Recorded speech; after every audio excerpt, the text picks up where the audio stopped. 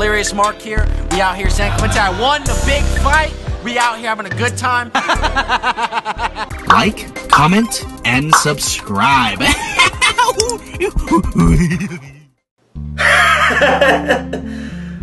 uh, hey everybody, uh, Delirious Marc here, and this is really hard for me. Uh, this weekend, as you all know, I had my big fight in San Clemente. I won the fight, of course, thanks to that juice I drank. Check out the last video for more, but that, that's besides the point. While I was down there in San Clemente at Pizza Port, some accusations were made about me, about what I've done to one of my fans, and I just want to get the record straight. That's why I'm making this video here. I got the full team behind me, and, and we all know what the truth is, so I wanted the people to know the truth about Delirious Marc.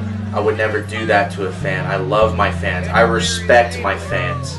The fans are the reason why we're here doing this, because the fan love and support. I did not hit my fan. I would never hit a fan. I did not beat up my fan. They said I, a fan came up to me and I struck him after a little altercation. There was no altercation. All I, you know, I was signing autographs. You know, you, you can check it out. I, I was I was on social media with my fans. We were hanging out, having a good time, having pizza and beer, celebrating my victory. I was signing girls all over their body. People were happy. Everything was consensual. Everything was fun. No one was getting hurt. I would never hurt anybody. Do you understand me? I'm not a violent man.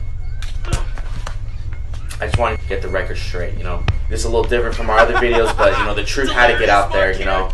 Come back next week for some more of the fun, the goofiness, but we had to get a little serious here for you. So get delirious, stay delirious. Thanks for watching.